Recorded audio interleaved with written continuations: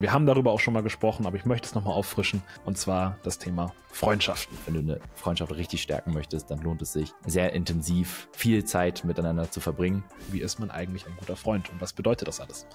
Es lohnt sich auch, die Rolle des Connectors einzunehmen. Und das waren immer die Momente, wo die Freundschaft tiefer geworden ist. Gerade Dreierkonstellationen können auch immer sehr konfliktbeladen sein. Für mich die Nummer eins Eigenschaft, um ein guter Freund zu sein, ist Schön, dass du wieder dabei bist beim Proaktiv Podcast. Hallo und herzlich willkommen zu einer neuen Folge vom Proaktiv Podcast. Mein Name ist Florian und zum letzten Mal in dieser Serie virtuell gegenüber von mir sitzt der gute Friedemann. Moin, schön, dass ihr wieder dabei seid. Und ja, Florian, ich muss sagen, ich freue mich darauf, morgen wieder zu Hause anzukommen.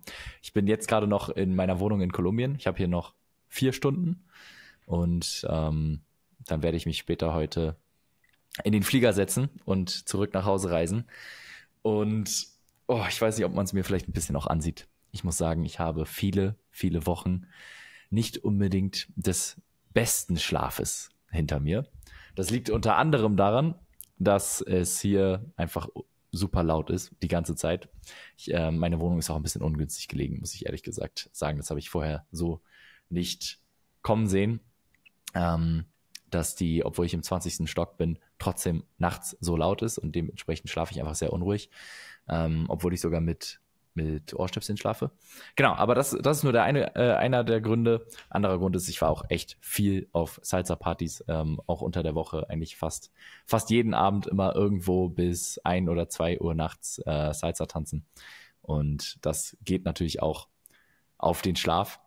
Und ich muss sagen, ich freue mich schon sehr darauf, wieder zu Hause zu sein und einfach ruhig, friedlich einmal richtig schlafen zu können. Yes, Friedemann, und das wirst du auch können. Ich kann das sehr gut verstehen. Ich war die letzte Woche segeln und das war alles super, alles top, richtig schön, bestes Wetter, hatte die beste Zeit. Aber so eine richtige Dusche und ein richtiges Bett hat nochmal eine ganz andere Qualität, die man ansonsten gar nicht so wahrnimmt. Und mhm. das sind, das sind quasi die Basics, die man im Leben hat, für die man nicht wirklich dankbar ist, die aber die Grundlage für ein gutes Leben sind. Und über genau so ein Thema möchte ich heute auch mit dir reden, lieber Friedemann. Ja. Ich möchte mit dir über ein anderes Basic-Thema reden, wofür man vielleicht öfter dankbar ist als für ein gutes Bett, was aber trotzdem ähnlich wichtig für ein schönes und erfülltes Leben ist. Und wir haben darüber auch schon mal gesprochen, aber ich möchte es nochmal auffrischen, und zwar das Thema Freundschaften. Und wenn ich es richtig verstanden habe, hast du die letzte Woche mit Freunden verbracht. Ich habe auch die letzte Woche mit Freunden verbracht und ich würde gern ja, dein, von deinen Erfahrungen hören, wieso sind Freundschaften wichtig? Was, wie, wie baut man Freundschaften auf? Wie pflegt man Freundschaften und wie ist man auch ein guter Freund? Weil es, es gibt, es gibt viel Content zu, wie ist man ein guter Business Manager. Es gibt viel Content dazu, wie ist man ein guter Gründer. Es gibt viel Content dazu, wie ist man ein guter Boyfriend oder eine gute Girlfriend, aber selten höre ich was dazu, wie ist man eigentlich ein guter Freund und was bedeutet das alles? Und darüber möchte ich heute mit dir reden, Friedemann. Ja, ja, finde ich, ist ein sehr schönes Thema. Ähm, ganz kurz vorweg. Liebe Leute da draußen, wir sind gerade auf der Suche nach Verstärkung für unser Video-Editing-Team. Falls da draußen jemand ist, der Lust hat, ähm, uns zu unterstützen, insbesondere im Reels-Bereich, und Video-Editing-Skills hat, dann gerne einmal bei uns melden und dann gucken wir mal, ob wir da zusammenkommen. Ähm, genau. Ganz kurzer Shoutout nur. Jetzt direkt zum Thema. Freunde. Es gibt, es gibt so viele verschiedene Arten von, von Freundschaften. Das finde ich so interessant. Weil zum Beispiel, was wir jetzt haben, wo wir jetzt uns ähm, zusammenfinden und wieder reflektieren über unsere Erlebnisse der letzten beiden Wochen, oder der letzten, unserer beiden letzten Wochen. Ähm, das ist eine andere Art von Freundschaft als die Freundschaften, die ich jetzt zum Beispiel hier in den letzten Wochen auf meiner Kolumbienreise aufgebaut habe.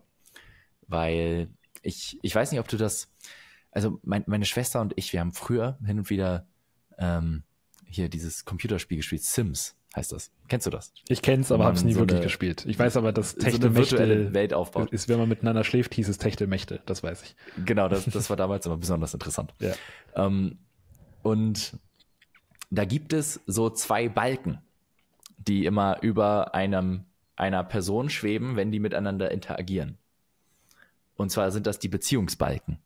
Und der eine Balken, der steigt recht schnell und der sinkt auch recht schnell wieder. Der andere Balken jedoch, der muss sich über viele, viele Tage und Wochen hinweg aufbauen. Und wenn was Gutes passiert, dann steigt dieser Balken so ein bisschen. Wenn wieder was Gutes passiert, dann steigt dieser Balken wieder ein bisschen. Wenn das Vertrauen gebrochen wird, dann steigt der Balken, ähm, je nachdem, was passiert ist, entweder ganz in den Keller oder einfach nur so ein bisschen runter. Auf jeden Fall, der zweite Balken ist ein bisschen träger. Und ich habe das Gefühl, das ist tatsächlich recht. Ähm, also da ist tatsächlich ein Stückchen Wahrheit dran, auch bei echten Freundschaften. Du hast diese Freundschaften, die sehr schnell, äh, wo man sich sehr schnell sympathisch findet oder auch super unsympathisch, ähm, aber wo vielleicht noch gar nicht so dieses Fundament dahinter ist. Und dann gibt es die Freundschaften, die sich über Jahre hinweg aufgebaut haben, wo richtig dieses Fundament da- äh, dahinter ist, wo der zweite Balken sehr aufgefüllt ist, aber wo der erste Balken trotzdem auch mal richtig niedrig sein kann. Und wo man sich vielleicht gerade mal nur in die Haare kriegt oder einfach gar nicht sehen kann oder einfach mal Abstand braucht. Ähm, genau. Und ich hatte vor allem jetzt gerade in der letzten Woche viele Freundschaften, die von der Kategorie der erste Balken sehr hoch, schon fast am explodieren und der zweite Balken aber eigentlich noch gar nicht so wirklich was dahinter. Weil so ist es halt auf Reisen. Ähm, ich, ich lerne hier viele, viele Leute kennen. Also an der Tagesordnung ist es, ist es so, dass ich neue, neue Freundschaften ähm, schließe. Und es wird sich dann zeigen, ob dieser zweite Balken sich über die lange Zeit hinweg dann auch füllen wird. Hängt natürlich auch damit zusammen, ob man überhaupt dann langfristig noch Kontakt miteinander haben wird. In der Regel ist es leider eher nicht so. Aber aus der Erfahrung heraus, so eine Person von zehn sieht man dann doch irgendwann nochmal wieder. Oder man, genau, wenn man sich richtig gut verstanden hat, plant man vielleicht einfach mal spontan irgendeinen Trip zusammen und so. Und dann hat dieser zweite Balken auch die Gelegenheit zu wachsen. Und genau, aber ich denke, das ist vielleicht ganz interessant, weil ich hatte jetzt eher Freundschaften Typ erster Balken hoch und du hattest jetzt in der letzten Woche viel Zeit mit Freundschaften, wo die du schon länger kennst, wo der zweite Balken vielleicht schon ein bisschen ausgereifter ist und da vielleicht mal die Unterschiede sich anzuschauen, das, ähm, das finde ich recht interessant. Ja, das stimmt. Okay, finde ich, finde ich klasse. Ich habe das noch nie so betrachtet auf dieser, dieser Skala. Finde es auch gut, dass es bei Sims genauso abgebildet wird. Wir, bei mir war das so, dass wir, ich mache mit meinen, mit einem Teil von meinen Freunden aus München, die ich aus meiner Zeit in dieser Studenten, studentischen Unternehmensberatung kennengelernt habe, mache ich einmal im Jahr eine Segelreise. Und das war jetzt erst das zweite Jahr. So. Aber im letzten Jahr war das so cool, dass wir uns dazu entschlossen haben, das jedes Jahr zu machen. Und jetzt nach diesem Mal ist es quasi in Stein gemeißelt, dass wir das jedes Jahr machen. Und wir haben jetzt auch schon einen Termin fürs nächste Jahr, um das zu machen. Und wenn du auf dem Segelboot bist, dann ist es sehr hilfreich und sehr notwendig, dass man sich einigermaßen gut versteht. Ansonsten ist es vielleicht dann doch ein bisschen zu eng und man hat auch keinen richtigen Platz, um sich zurückzuziehen. Und was ich interessant fand, auch zu deiner Analogie mit den beiden Balken, ist, dass diese Gruppe jetzt nur zu 50 Prozent aus den Leuten bestand, die zu meiner Kernfreundesgruppe in München gehört und zu den anderen 50 Prozent von Leuten, die ich nicht so gut kannte. Und jetzt ist es aber die zweite Segelreise gewesen. Und jetzt kann ich die zweite Segelreise mit der ersten vergleichen. Und in der ersten Segelreise, das war alles super, alles toll, alles neu. Und in der allerersten Rhetorikfolge, die wir gemacht haben vor einem Jahr, da beschreibe ich auch, wie das Segeln war und wie, wie schön es ist, morgens einfach aufzuwachen, türkisblaues Wasser zu sehen, so wie es sonst nur auf den Malediven gibt, reinzuspringen morgens, das Leben zu genießen. Alles ist entschleunigt. Man isst richtig gutes Essen, die, man hört nur Naturgeräusche. Man, man ist eins mit der Natur und alles wird entschleunigt. Und du, so Sachen, die normalerweise Mittel zum Zweck sind, werden zum Ziel an sich selbst. Also normalerweise esse ich, um zu essen. Es sei denn, es ist mal ein schönes Abendessen. Aber beim Segeln, da isst man und zelebriert das Essen. Man fährt oder segelt und zelebriert das Fahren oder Segeln. Und man, man schwimmt und zelebriert das Schwimmen. Man singt und zelebriert das Singen. Egal was man macht, man zelebriert es und macht aber gar nicht so viel. Und das ist das, was es so entschleunigt. Und dieses Mal war es von meinem inneren Gefühl noch ruhiger und noch ausgeglichener als, als letztes Mal. Und ich hätte dir letztes Mal gar nicht sagen können, dass es nicht super ruhig und ausgeglichen war von innen. Aber ich habe bei diesem Mal gemerkt, dass ich noch mehr Vertrauen zu all den Leuten hatte, noch, dass der zweite Balken größer geworden ist im Vergleich zum, zum ersten Mal, insbesondere bei denen, die ich noch nicht so gut kannte. Bei den anderen war der Balken eh schon voll. So, und das hat nach innen hin die Freundschaft sich noch besser anfühlen lassen. Also die, die Freundschaft hat sich innerlich noch besser angefühlt als beim ersten Mal, wo es noch ein bisschen mehr Aktivitäten getrieben war. Also beim ersten Mal war es wichtig, dass man Sachen macht, wo man ganz viel lacht dabei und so und, und wehe, also es ist, es ist auch gut, dass bei Gesprächen dann kein, nicht eine awkward Pause entsteht, all solche Sachen waren Sachen, durch an die man hätte denken können beim ersten Mal. Jetzt ich, ich, ich jetzt nicht unbedingt, aber jetzt beim zweiten Mal habe ich gemerkt, wie viel vertrauter das war, wie viel mhm. ruhiger das war, wie viel schöner das war, einfach neben den anderen Personen zu sein. So, und äh, ein, ein, ein Mädel auf der Yacht meinte, das Schönste, was sie, oder das Highlight von diesem Urlaub war, dass sie das Gefühl hatte, dass sie einfach sein konnte. Und das fand ich sehr treffend für, für das Gefühl, was ich auch hatte. Und das einfach sein zu können, hängt, glaube ich, stark damit zusammen, wie sehr der zweite Balken ausgereift ist. Wohingegen der erste Balken, der so aus dem Moment heraus entsteht, das ist ein nicer Vibe, aber da weiß man nicht, ob man wirklich so sein kann, wie man möchte. Da weiß man nicht, ob man jetzt wirklich eine Woche eng zusammen auf dem Segelboot miteinander verbringen möchte oder ob das jetzt auch reicht nach drei Stunden High-Dopamin-Interaktion, ob man danach vielleicht nicht einfach mal nach Hause gehen möchte, entspannen eine möchte. Eine Pause voneinander Genau, eine Pause ne? voneinander, genau. Mhm. voneinander braucht. Da hast du recht. Möchte man die Pause miteinander verbringen? Ja. Und findet man Erholung in der anderen Person? Genau. Oder ist es eher, dass die, äh, dass man denkt so, oh, okay, das war jetzt so viel Action, das hat richtig viel Spaß gemacht, aber ähm, jetzt sehen wir uns erst morgen oder übermorgen wieder. Ähm, genau, oder ist es jemand zum Beispiel bei dir, habe ich das Gefühl, bei dir ist es eher Erholung, weil manchmal chillen wir auch einfach nur rum äh, und lassen so die Gedanken kreisen, reflektieren über irgendetwas, erzählen uns irgendwas und das ist dann runterfahren, entspannen. Ähm, und dafür muss aber dieser zweite Balken, der muss richtig vorhanden sein. Ja, da hast du absolut recht. Wie baut man den zweiten Balken auf? Ich glaube, zwei Sachen, Zeit, viel Zeit miteinander zu verbringen und die Zeit aber auch wertvoll zu gestalten und verschiedene Perspektiven reinzubringen.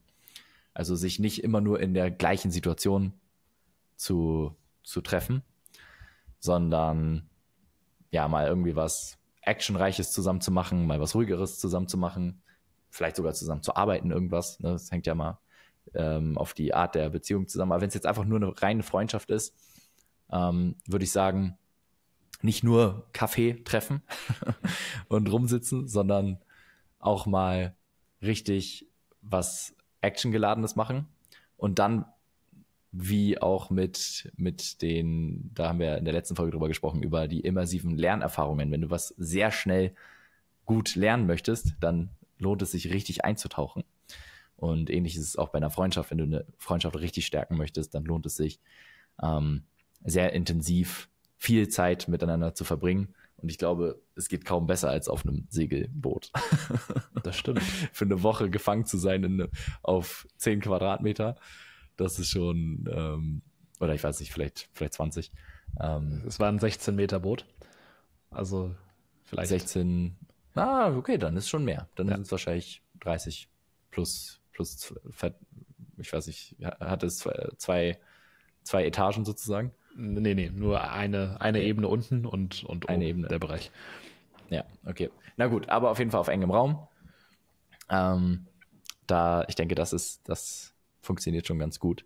Und dann aber natürlich auch lange Zeit, weil jetzt einfach nur ein einziges Mal ähm, eine Woche zusammen intensiv verbracht zu haben, ich weiß nicht, ob ich danach der Person mein Leben anvertrauen würde. Ähm, aber wenn man das immer wieder gemacht hat und sich über Jahre hinweg kennt, dann ist es schon was anderes. Und zum Beispiel, ich bin mir sicher, dass du es auch kennst, dass du mal sehr intensive Zeiten mit Leuten verbracht hast und daraus tolle Freundschaften entstanden sind, aber man sich danach aus irgendeinem Grund nicht mehr wiedergesehen hat oder für eine lange Zeit nicht. Danach war das Vertrauen jetzt nicht, vielleicht war immer noch eine gute Basis da, mit der man weiter auf, auf Basis, auf deren Basis man weiter arbeiten könnte, aber nach einem Jahr oder so ist dann das Vertrauen nicht lange nicht mehr so hoch.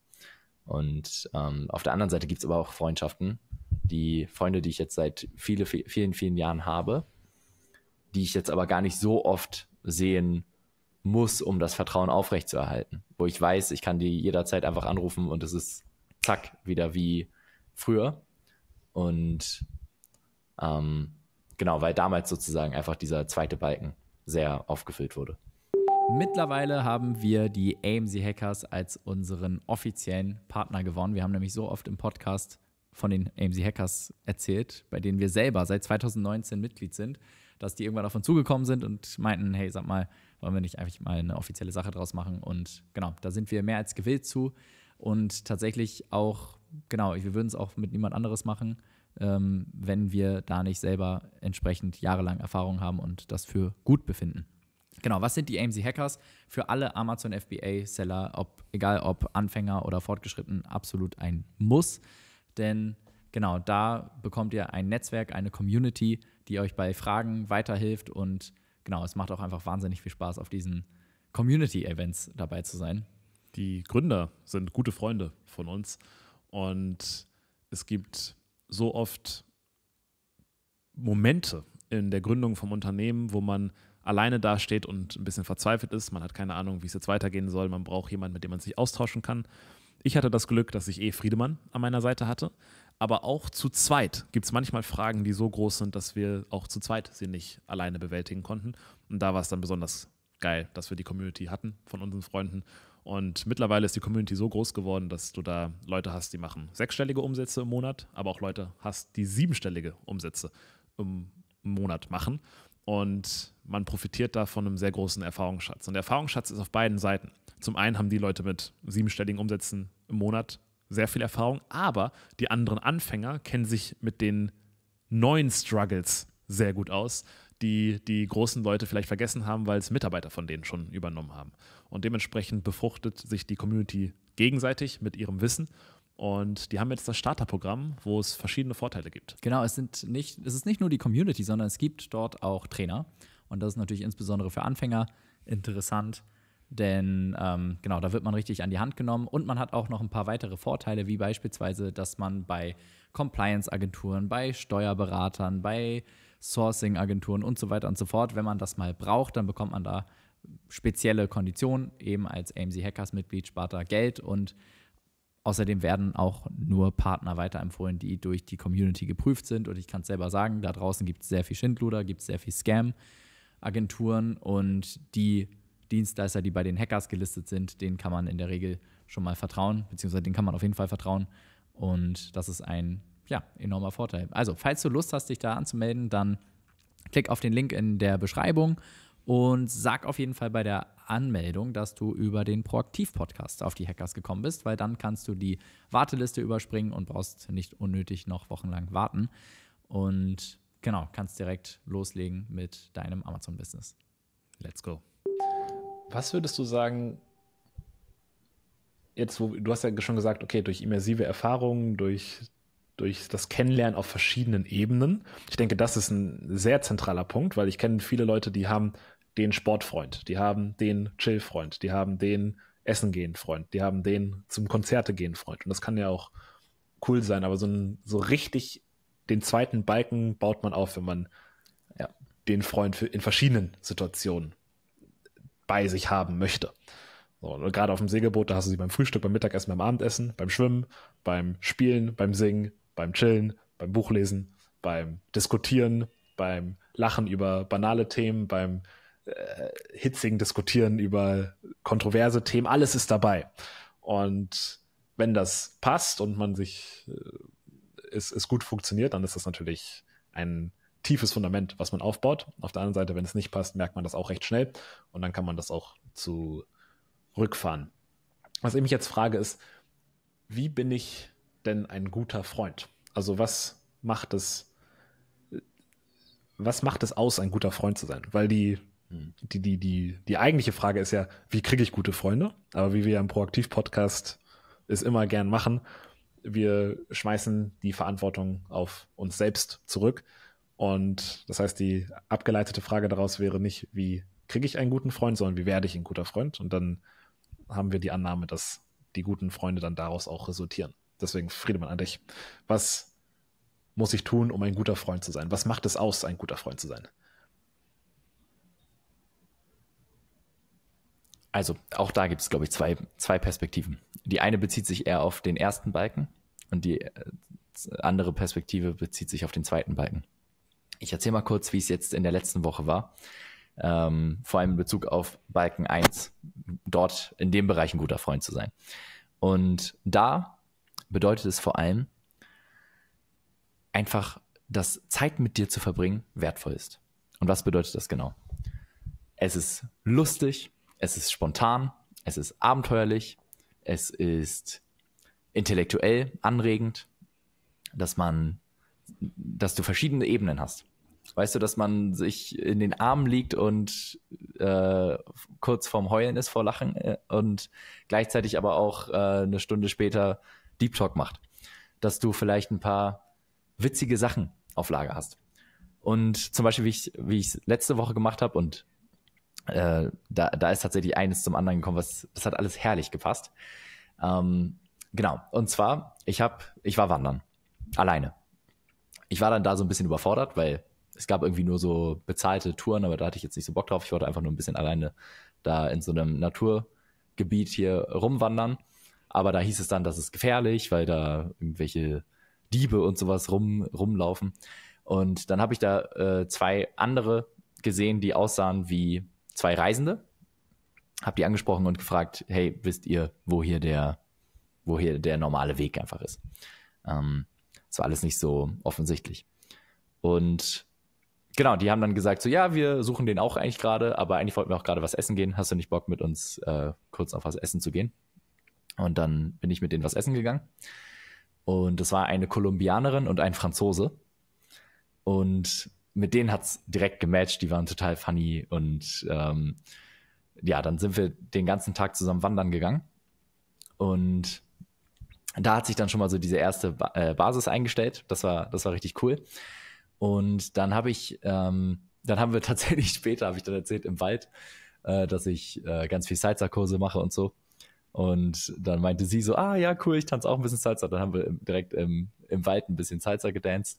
Äh, das war ganz witzig. Und dann haben wir halt, sind wir so verblieben, dass wir uns am nächsten Tag treffen und gemeinsam zu so einem Salsa Social Abend gehen, wo es erstmal eine Stunde gibt, ähm, so eine äh, Anfängerstunde nochmal zum Auffrischen von den, von den Basics und dann danach wird in die Nacht reingetanzt.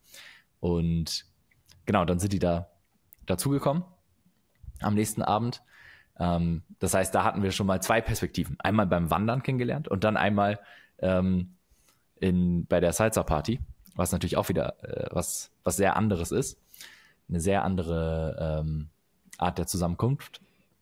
Und genau, da ähm, von, der, von den ganzen Salsa-Partys hatte ich dann auch noch eine andere Freundin kennengelernt.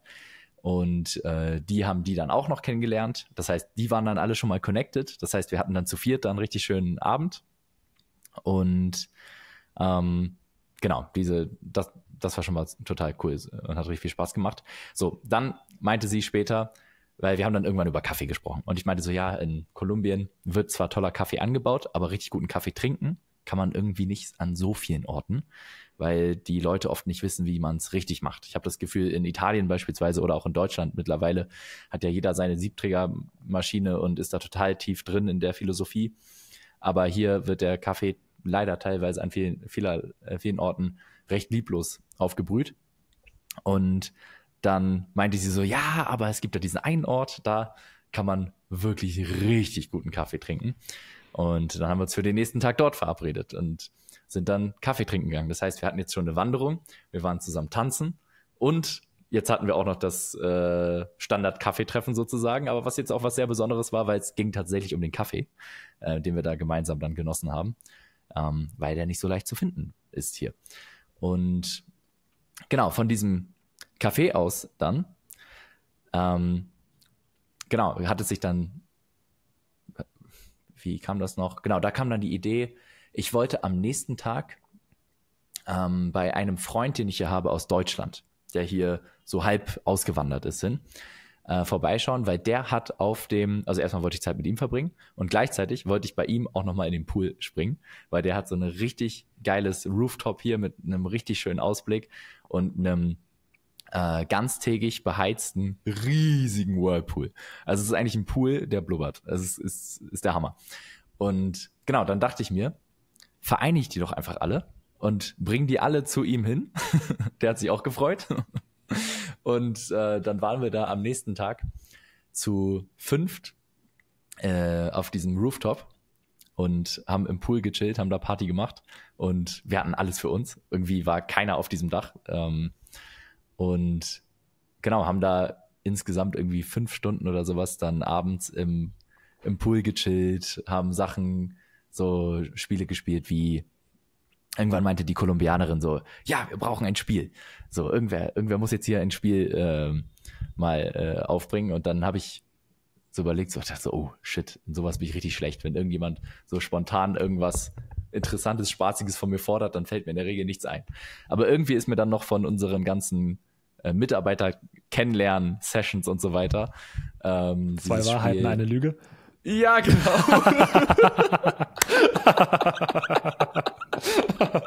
Zwei Wahrheiten, eine Lüge. Genau, das ist mir dann noch eingefallen. Ja. Und das haben wir dann gespielt. Das war super witzig. Ja. Und warum war es witzig? Wir haben es natürlich nur auf Spanisch gespielt. Ähm, weil die Kolumbianer, also es waren zwei Kolumbianerinnen dabei und die eine konnte gar kein Englisch und die andere konnte so ein bisschen Englisch. Und ähm, der Franzose, der konnte perfekt äh, Spanisch sprechen tatsächlich, fand ich sehr beeindruckend. Ähm, ich so ein bisschen und mein Kollege, der da in dem Poolhaus wohnt, der kann auch so ein bisschen Spanisch. Und dann haben wir da im Pool gechillt und ähm, ja, auf Spanisch zwei Wahrheiten, eine Lüge gespielt. Das war sehr witzig. Und genau, danach sind wir noch essen gegangen.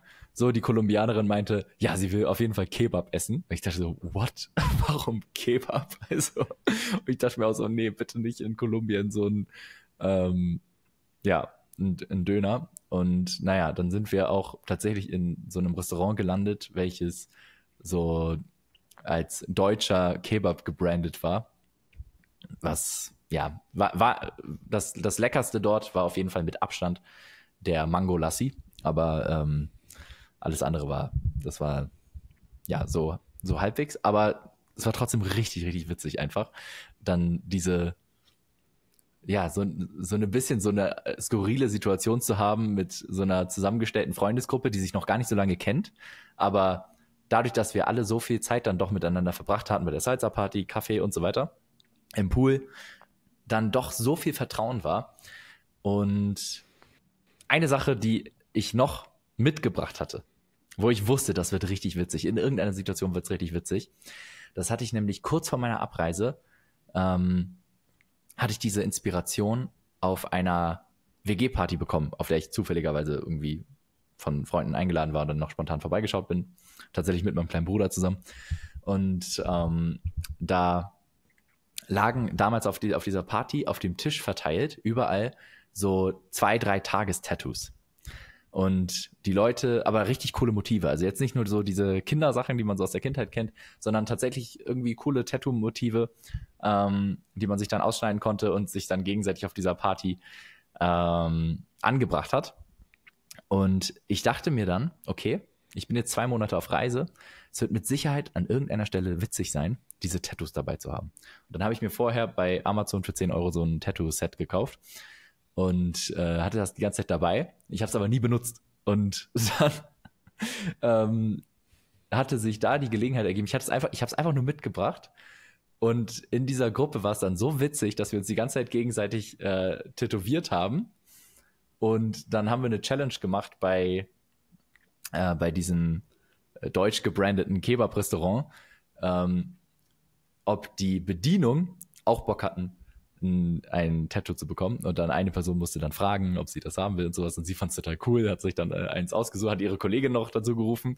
Und auf einmal waren wir dann bei diesem Kebab-Restaurant und auf dem Tisch lagen die Tattoo-Motive und dann haben sich die beiden Bedienungen da ihr Lieblingstattoo rausgesucht und fanden das richtig cool und haben sich das dann ähm, dran gemacht. Und ähm, ja, solche Sachen. Weißt du, man, so einfach spontan sein. Nichts davon war wirklich geplant.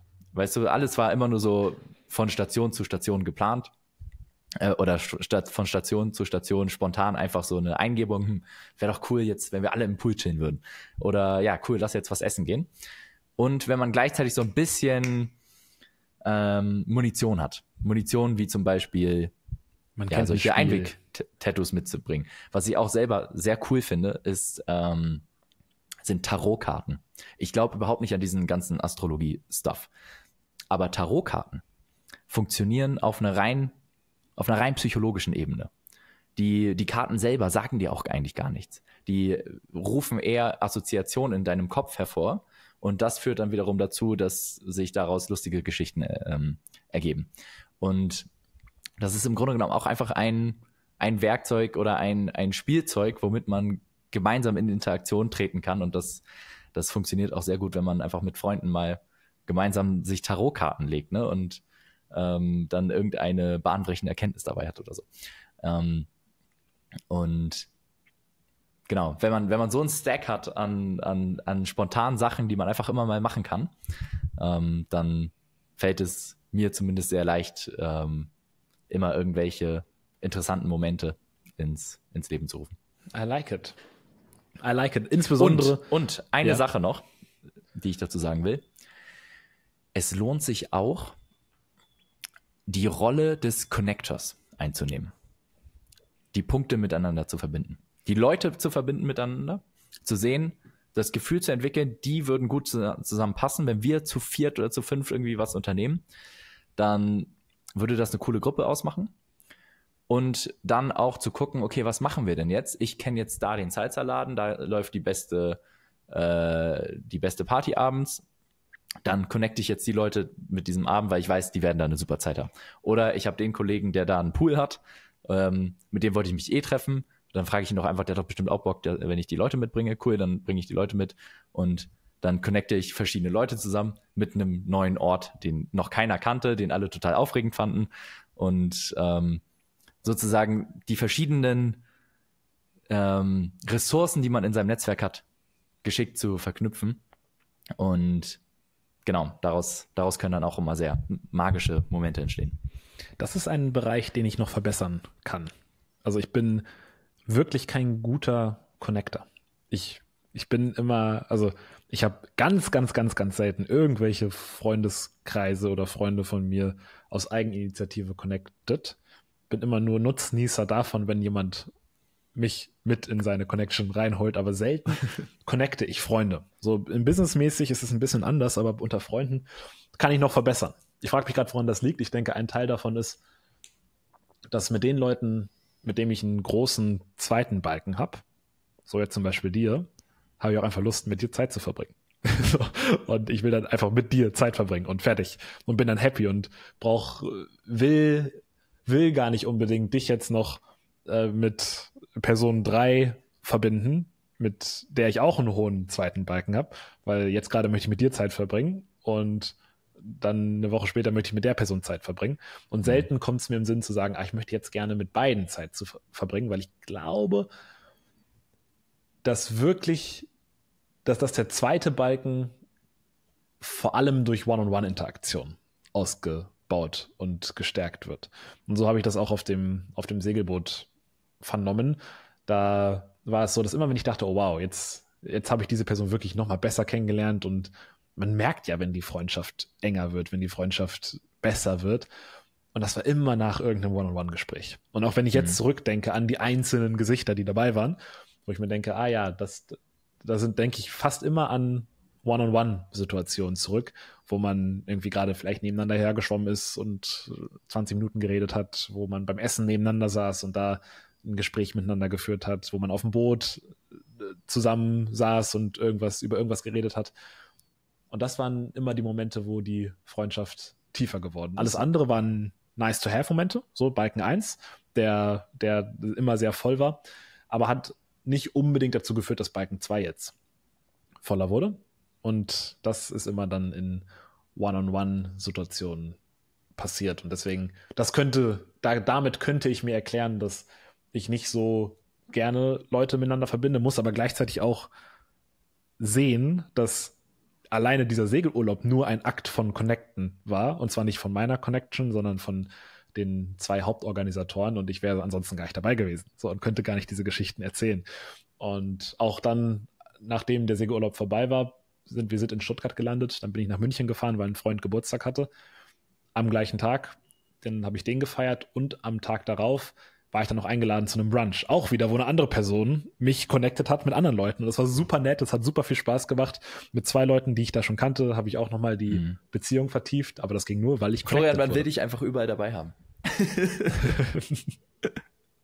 du hast gar keine Zeit, äh, dir darüber Gedanken zu machen, äh, andere zu connecten, weil du einfach selber ähm, sehr viel connected wirst. Und das ist doch auch was, das ist was sehr Schönes.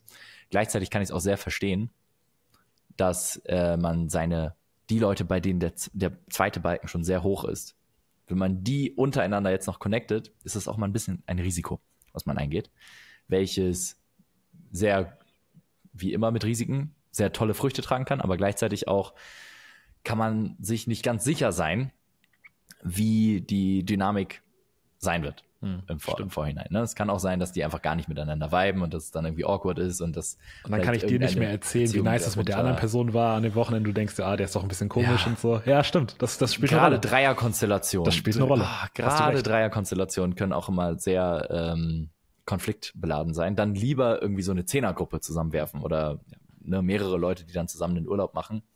Da, wo, wo jeder irgendwie immer jemanden findet. Ähm, bei Leuten, die sich alle noch nicht so krass gut kennen, da ist es dann irgendwie auch nicht so, ich sag mal, nicht so risikoreich für dich, ne? wenn du jetzt irgendwie so drei, vier Bekanntschaften hast, die du jetzt alle gerade eine Woche kennst, die schmeißt du alle zusammen. das wird sich dann eh ergeben, wer, wer am Ende noch überbleibt und zu den guten Freunden wird.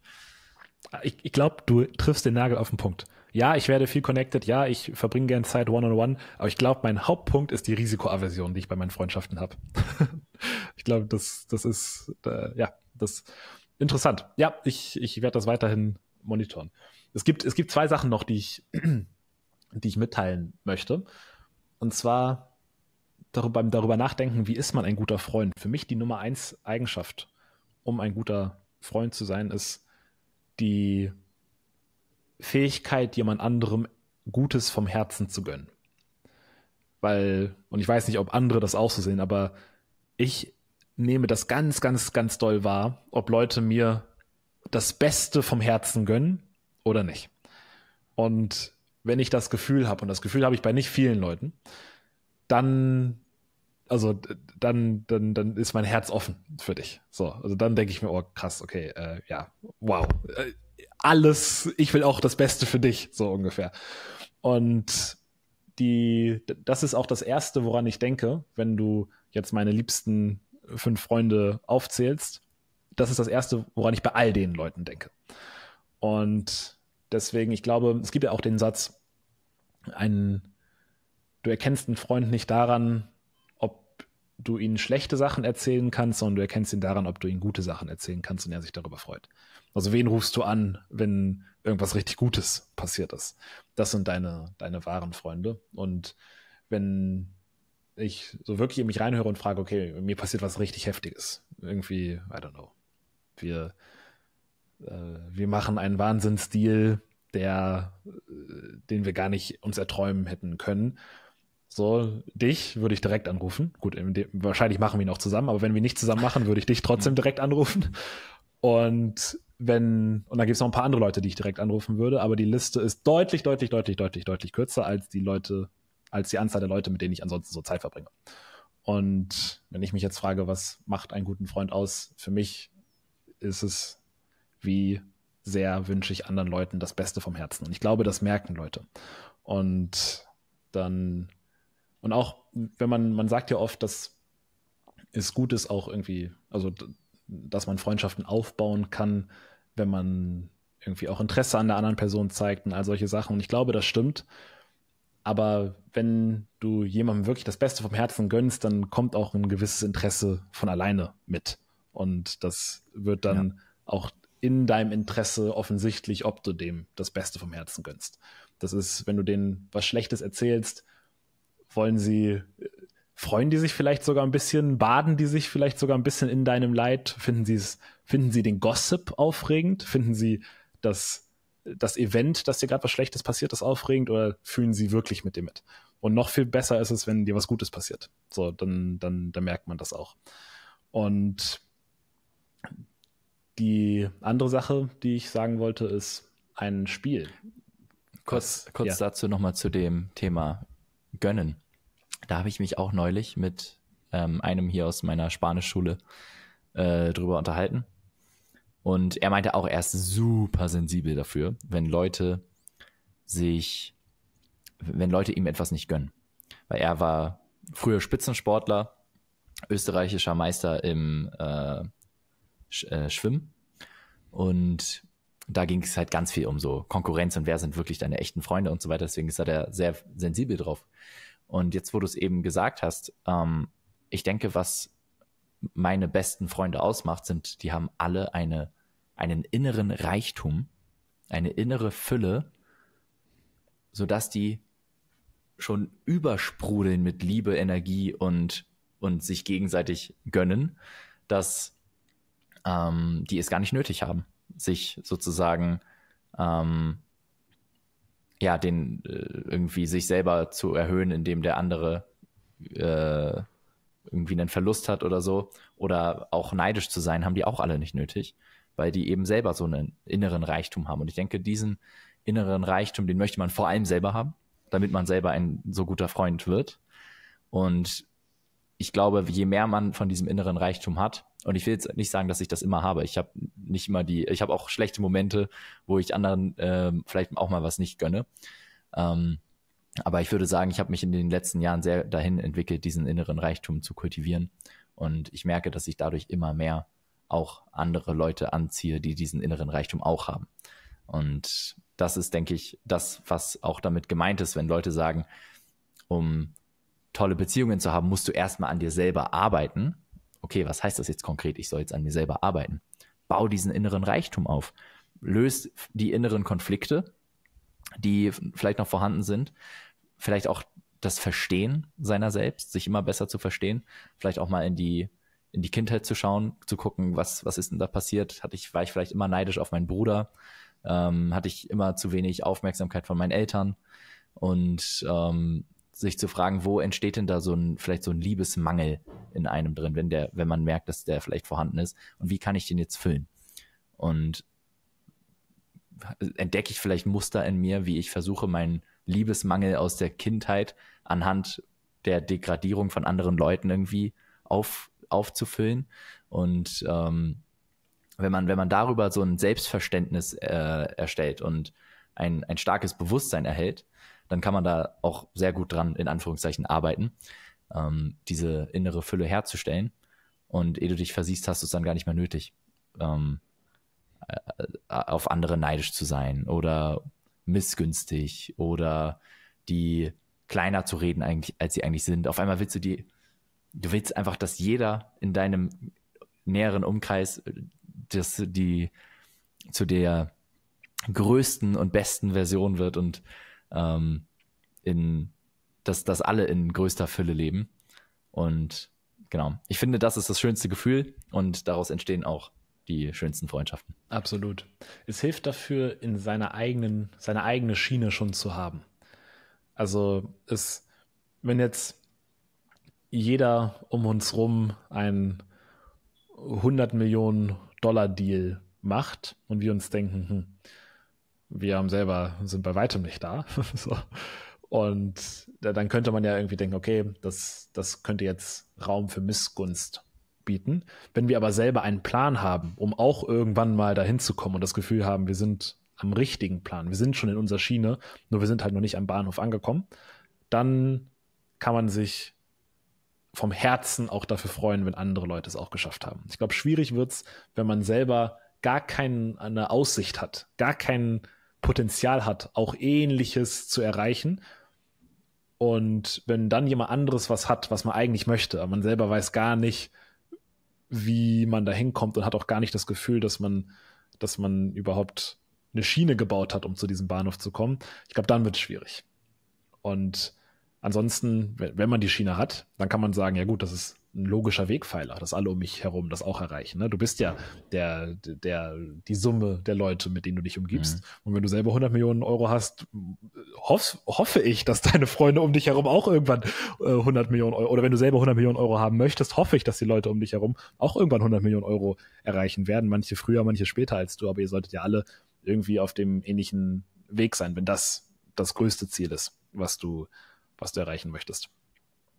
Du hast auch immer, immer mal wieder in der Vergangenheit das Beispiel hervorgebracht mit der anderen Meda äh, Seite der Medaille. Ja. Man kann sich dann auch mal fragen, wenn man gerade denkt, wenn, wenn gerade tatsächlich der Fall ist, dass jemand im Freundeskreis, und bei uns passiert das häufig, irgendjemand mal irgendeinen richtig krassen Erfolg gefeiert hat. Junge, letzte Woche erst einer. Ja? Fetter Deal. Ja, der, der macht sich jetzt nie wieder Sorgen um Geld. Ja, und wenn man dann kurz sich denkt, so, hm, das hätte auch ich sein können, so, äh, sich dann einmal die andere Seite der Medaille vorstellen, okay, möchte ich denn eigentlich, dass, wie würde es denn aussehen, wenn jetzt alle meine Freunde, die ich hätte, nie etwas erreichen würden? Und immer nur ich derjenige wäre, der absahnt. Wenn überhaupt. Was das für mich bedeuten würde, wäre, dass irgendwas beispielsweise jetzt im Businessbereich nicht stimmen würde. Weil das, was ich ja so liebe am, am Business, ist, dass es so fair ist. Weißt du, dass das Business etwas ist, was nicht diskriminiert. Es diskriminiert nicht auf deine Herkunft, es diskriminiert nicht auf deinen dein Bildungsstand, es diskriminiert nicht auf dein Alter, auf dein Aussehen, das ist alles egal. Egal wer du bist, egal wo du bist, egal welchen Hintergrund du hast, du kannst in der Businesswelt, wenn du einfach Leistung lieferst, kannst du dir was aufbauen. Und das liebe ich daran, dass es einfach so, ähm, so zugänglich ist. Ne? Grundsätzlich zumindest. Und wenn jetzt aber niemand in meinem Umkreis irgendwie auch mal Erfolge haben würde, dann wäre ja irgendwie auch was falsch. Aber so ist es ja nicht. Sondern ich denke mir immer, wenn ich, wenn ich jemanden sehe, boah, cool, der hat jetzt zwei, drei Jahre lang richtig gestruggelt und jetzt zündet es richtig, denke ich mir, geil. Wieder einmal bestätigt, die, ähm, die Businesswelt funktioniert noch. Oder irgendwie, die haben irgendwas ganz anders gemacht als alle anderen und haben sich da einen Weg überlegt, wie es, wie es bei ihnen funktionieren kann und tatsächlich am Ende funktioniert Vielleicht ein bisschen Struggle, haben alle immer, ähm, mal phasenweise und danach geht's wieder weiter und so. Ist immer wieder die Bestätigung, cool, es läuft richtig gut und ähm, es funktioniert noch.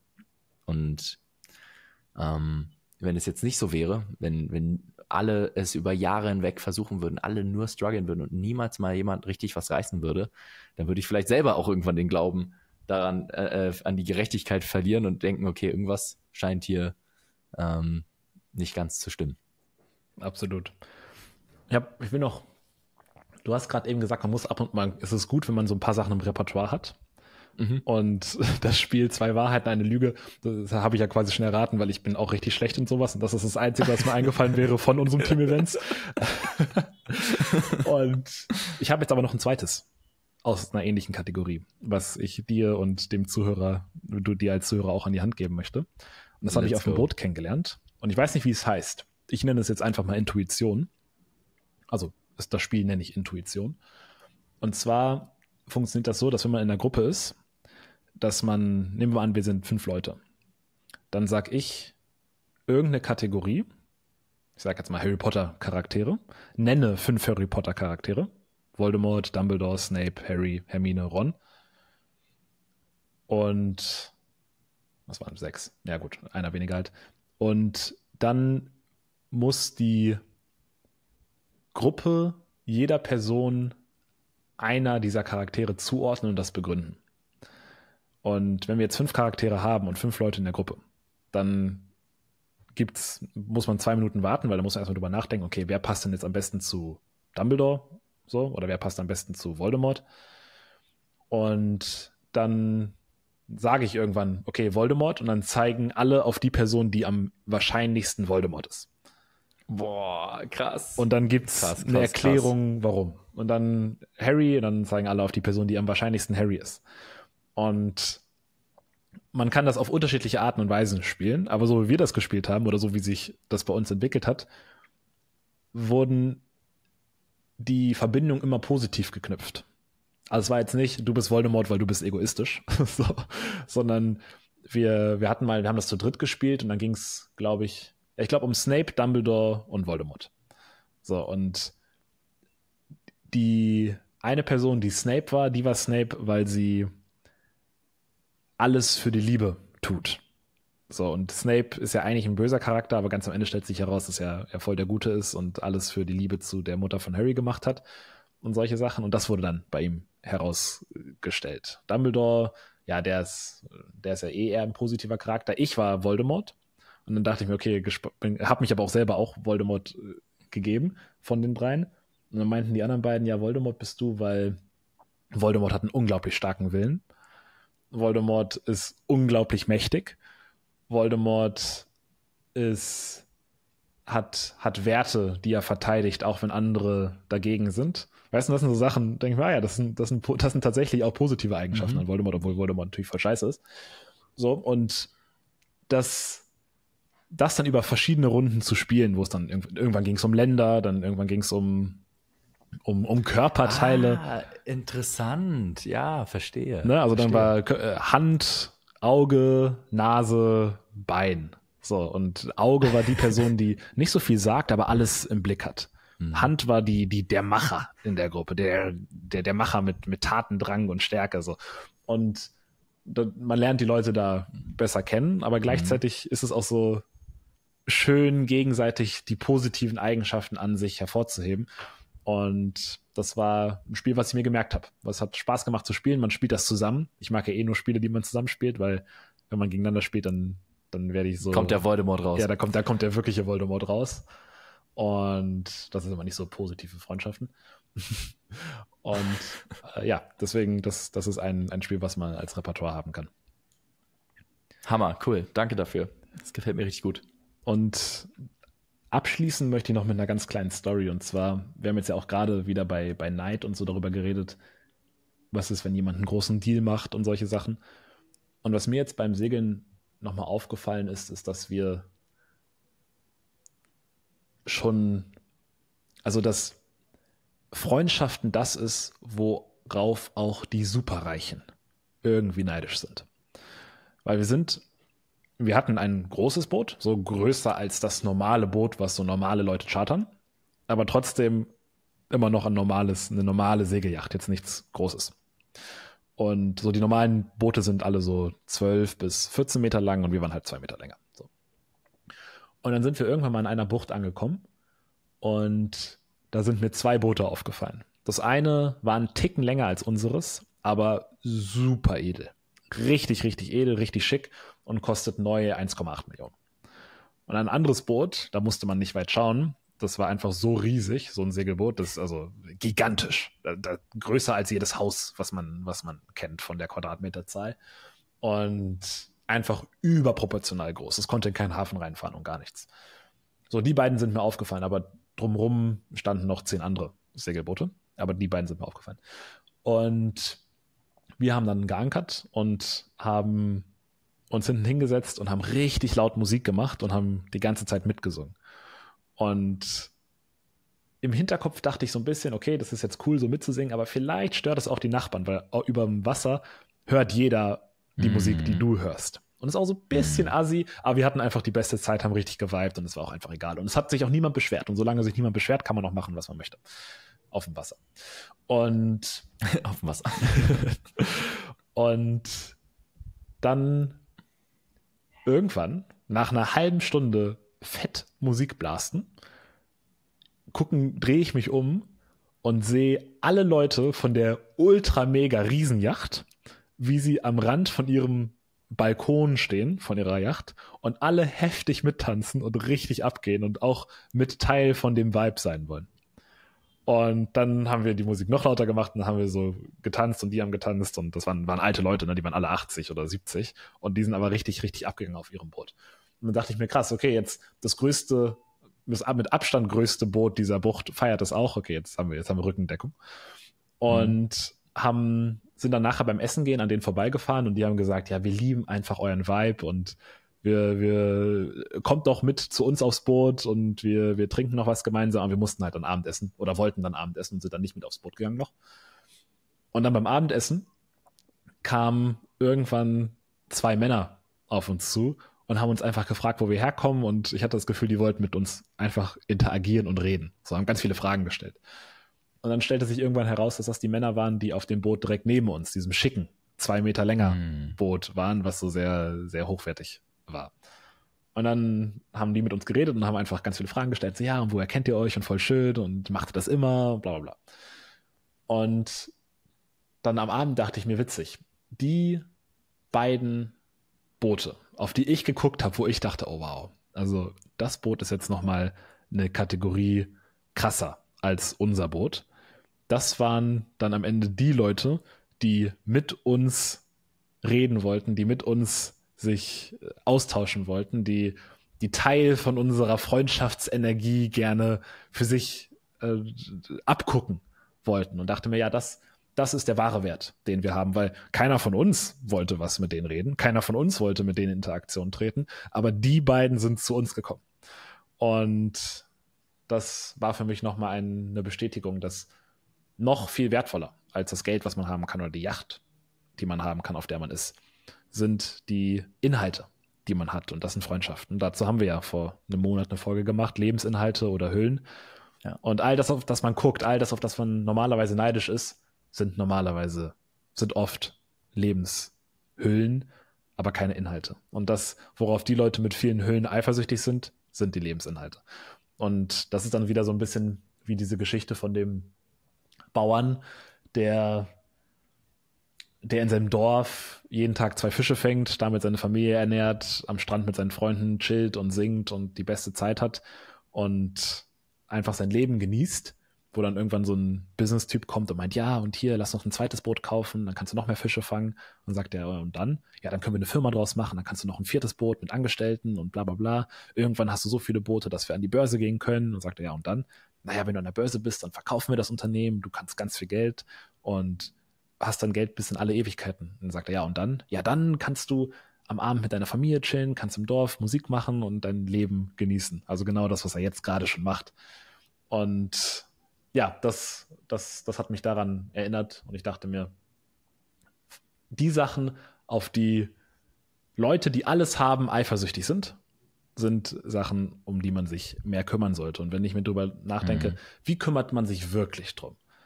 Also lass mich mal in, in, in deinen Kalender schauen, Friedemann, oder auch in meinen Kalender. Wie, wo sehe ich da die Freunde? Sind die da irgendwo gescheduled oder sind die nur Nutznießer von der freien Zeit, die du ansonsten gar nicht anders hättest allokieren können?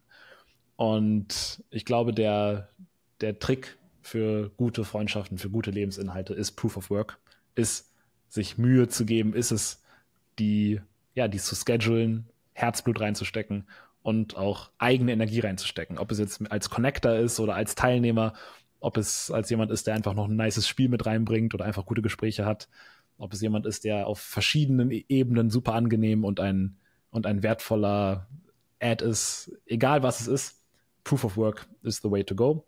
Und genauso wie ich, wenn ich jetzt meinen Körper trainiere, mich da, da muss man Consistency haben. Man muss, man muss Beständigkeit haben. So, man, es reicht nicht einmal für eine Woche ein heftiges Workout zu machen, dann nie wieder, so wie du es auch am Anfang gesagt hast. Es reicht nicht, eine heftige Immersion zu haben. Man braucht viele Immersions oder man macht regelmäßig irgendwas. Und ich glaube, dann entfaltet man den Zauber des Lebens und das ist gute Beziehungen zu haben. Und das passt ja auch in die Geschichte der Menschheit und passt auch in das, wie ich es empfinde, immer wenn ich Zeit mit Freunden verbringe. Ich bin noch ja. zufriedener, noch happier, als ich als ich sonst bin. Und ja, freue mich, das über die nächsten Jahre noch weiter auszubauen. 100 Prozent. Was für eine schöne Geschichte noch zum Ende. Und da fällt mir auch ein, dass ich zum Beispiel die letzte Woche alles, was ich da gemacht habe, was diese spontane Freundesgruppe hier vor Ort so gestärkt hat, nichts davon hat wirklich Geld gekostet. Mhm.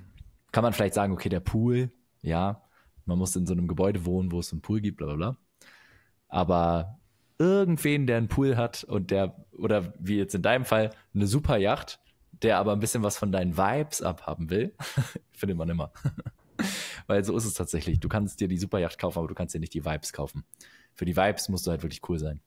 Und ähm, ja, das ist unbezahlbar. Absolut. Und mit diesen Worten freue ich mich aufs nächste Mal, Friedemann. Wieder in Fleisch und Blut gemeinsam im Studio. Das yes. wird auch richtig nice. Ich freue mich drauf, Mann. Ja, bis zum nächsten Mal.